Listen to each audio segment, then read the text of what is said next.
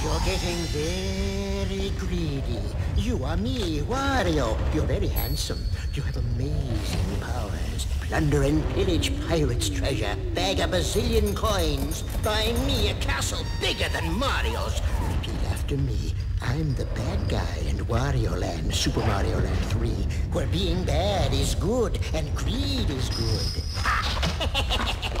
Come and get it on Game Boy, greedy.